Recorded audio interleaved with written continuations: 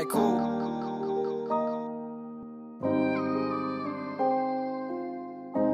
Oh, shit, this is cool, you know.